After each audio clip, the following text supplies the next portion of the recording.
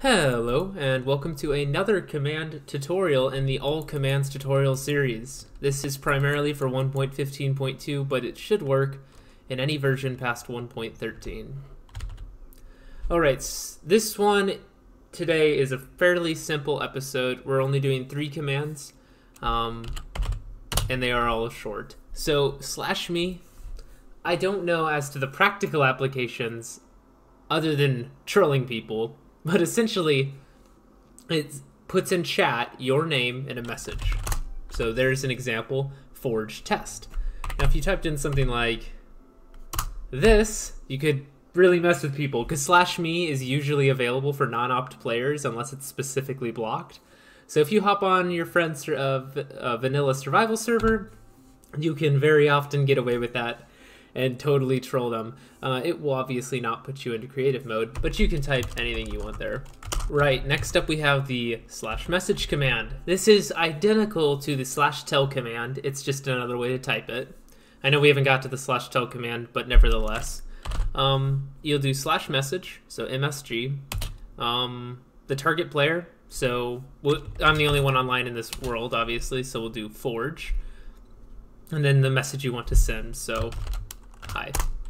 And you can see it says I sent the message and it says I received the message because I'm the same person. That's really it. Um, if you want to target every player, you can do that and just do it like that. As you can see, it just sent the same thing to me because um, I'm the only player online. Uh, you can also do stuff like that with the tellraw. Um, just really quick, I know this isn't what this is about, but you just do like that and everyone would get test in their message feed. Uh, keep in mind, the tell command is just like that. You don't need the quotes.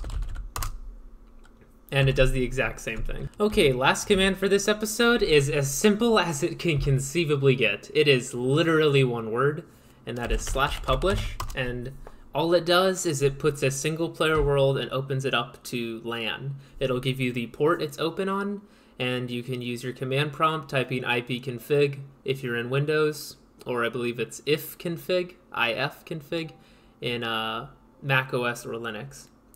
Uh, and that's really all there is to the slash publish command. You will not need this on a multiplayer server, but if you're trying to host a LAN world uh, using Hamachi or something or whatever else, uh, slash publish is going to open it up.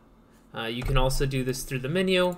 It obviously doesn't have that option because I have already opened it, but if we reload the world, it'll unpublish it and you can do open to LAN and then start it. And now if I try to do slash publish, it won't let me because it's already done.